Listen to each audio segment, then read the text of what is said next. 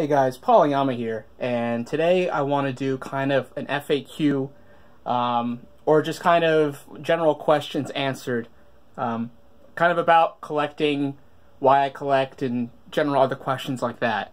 Um, what sparked it was a question on my last video that I released maybe like two days ago, where after I uploaded it, the guy was like, oh, another collection for the sake of collecting. And at first I was kind of like, well, how dare he? Um, but then I thought about it, and then I talked in the Discord about it briefly. Um, and so I kind of asked them for more questions that kind of, you know, warrant an answer. Um, and so I, I, thought about some of this stuff during, during my work day. Now that I'm home, I kind of want to answer some of them. Um, so I have like, you know, like five, ten-ish questions. I don't know if, if I'll hit them all. Um, but the first question would be to kind of address the, the comment that I just talked about which basically goes into the topic of um, why do I collect? Because if, if the guy's saying you collect for the sake of collecting, which is which is basically what he's saying. I, am collecting these things, um, like I'm collecting them, but I don't really care about them. Like I'm not reading them. Um, you know, I have them just because they're just because they're rare or because whatever. Like it's kind of implying that I'm not really a fan of the content itself. I just like having them. Um, and like number one, that's okay.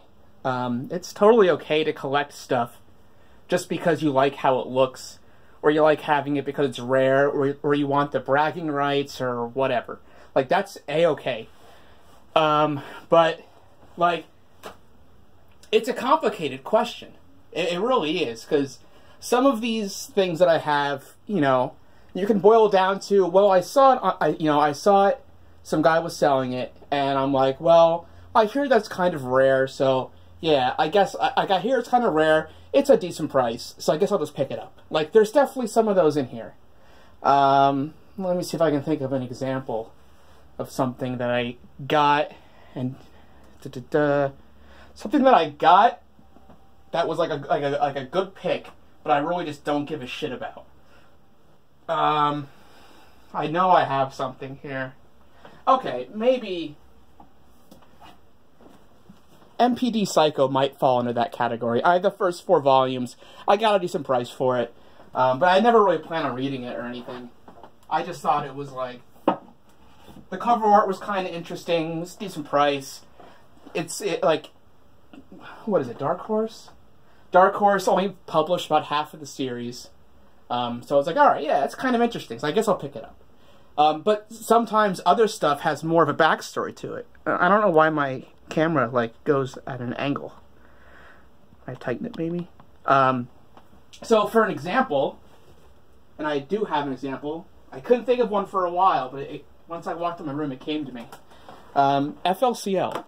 This is my favorite anime, like of all time. I love this series to death.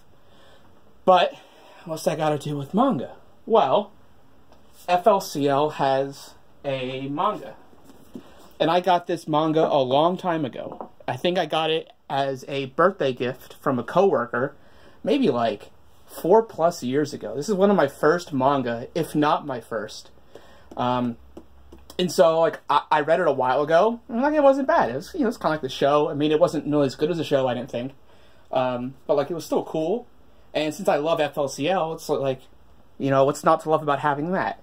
Um, and so eventually, like years later, maybe like half a year ago, I picked up the original Tokyopop volumes. Um, like literally the exact same thing, but since I like FLCL, it's like, well, damn, I got to get all the FLCL stuff I can because I, I love the series. You know, I got I got Lord Canti down there. I got two Cantis. Um, so it's like, all right, I got to get the FLCL stuff. And so I did that. And then I found out, like I saw, um, I saw when I was searching on Right Stuf a long time ago, I remember seeing the artwork for this, and I'm like, will this stand up straight? Holy shit. And I remember thinking to myself, what the heck is this? Because I didn't know that there was a light novel series for FLCL. So I'm like, what is this like alternate art for the manga? And so whenever I saw that listing on like Amazon or Right Stuf, I'm like, okay, well, that's just the manga. So I ignored it, and then I found out um, a while ago that like there was a light novel, and it's like, well, damn, there's a light novel series for FLCL. Let me check this out, and then I'm like, okay, well, their first two volumes are cheap. You know, I, the first two volumes are cheap.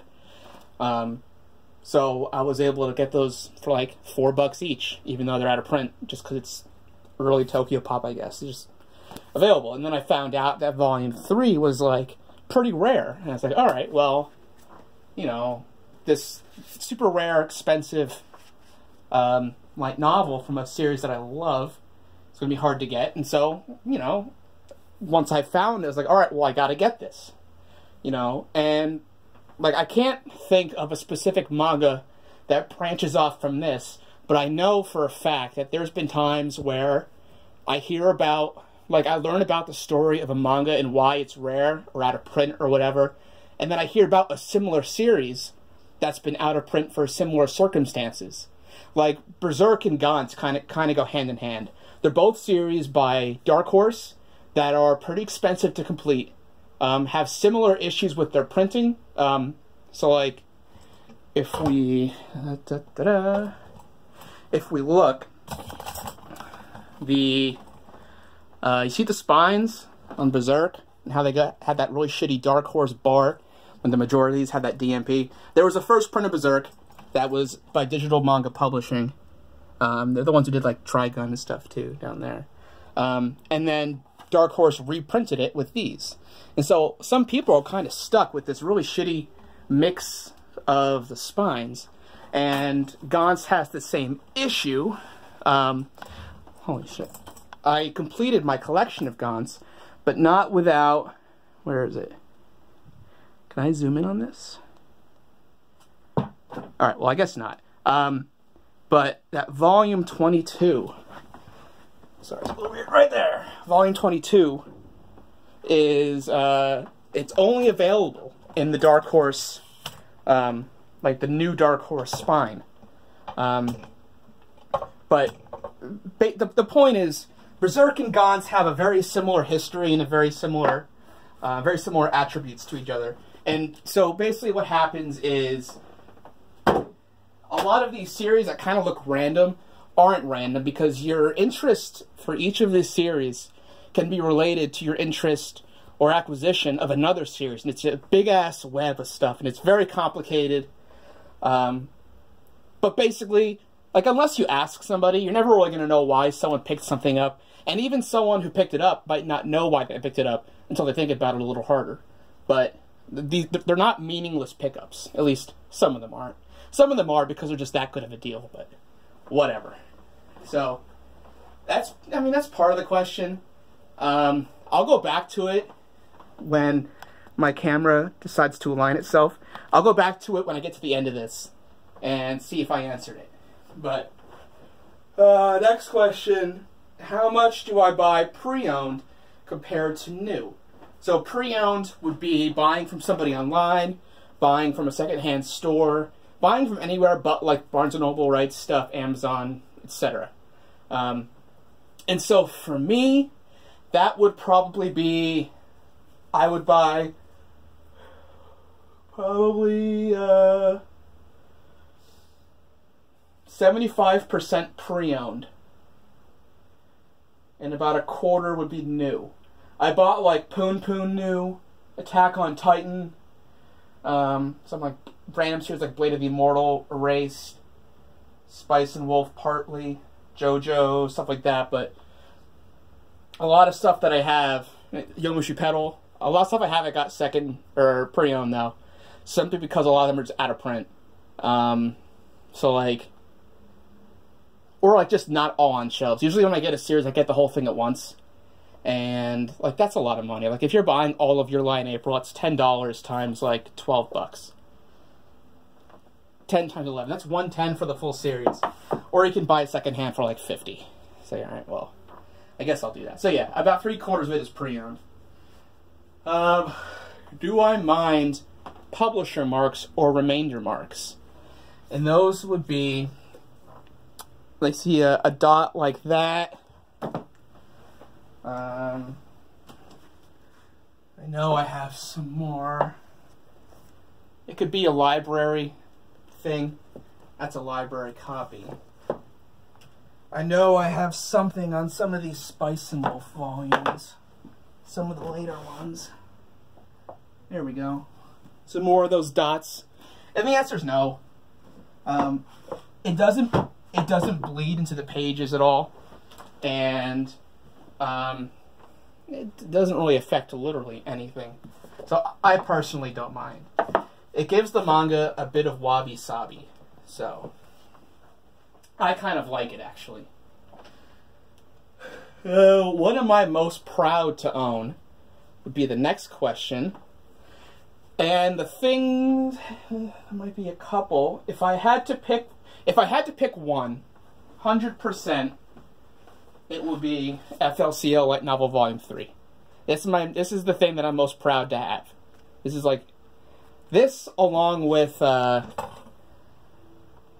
da, da, da, the Spice and Wolf collections. Those are my favorites. And guilty pleasure. I should have two, I think. Number one is Kiss Sis. It's a Japanese manga. It's not published in English. Um, there's an anime. There's an anime based on it, or based on this. Um, I like it. It's not good, but I like it. So that's the first one, and the second one is the Love in Hell series. There's a sequel too. Um, this is a very good manga. So that's my guilty pleasure manga. Manga I regret buying. There's a lot of manga I regret buying. Um, let's dislodge this from the tripod. Manga I regret buying. Um, da, da, da, maybe Beck, only because I never seem to see it pop up anywhere else. So finishing it's going to be kind of annoying. Um, I didn't buy this, so I don't care. Uh, case study of Vanitas. I, I really don't give a shit about it. I'm not totally sure why I bought it. Uh, the Bebop manga, Defrag, more main remarks. I got these for super cheap though, but I still don't, still wish I didn't buy them. Um, hmm, Gintama Volume 1. Da -da -da. Love at 14 Volume 1. I didn't buy this Log Horizon one, so I don't care. Um, probably this uh, Lone Wolf and Cub and Samurai Executioner. Don't really care about that. Uh, this Shinji Ikari Detective Diary manga. And there's there's some more, but those are probably the most important ones there. Most of the stuff on the rest of my collection on this side of the bookshelf is pretty good. So, yeah, those are those are the main offenders. Uh, next up, manga I want to like, but can't get into. First one would be Planetes. Second one would be Neon Genesis Evangelion. These are probably the two biggest ones that I wish I liked, but for some reason I just don't like that much. Um, and I, for the most part, I think I know the reason. And it kind of boils down to the manga is very, very similar to the anime. And I've seen the anime, so when I read the manga, it kind of feels like I'm just rereading it. And I don't, I don't really reread manga. So none of this none of this manga when I read it feels fresh or new. And so I just don't really care about it. They're very good. Like I, I acknowledge they're good but I really just don't really care that much. So, that's a shame. But they're nice.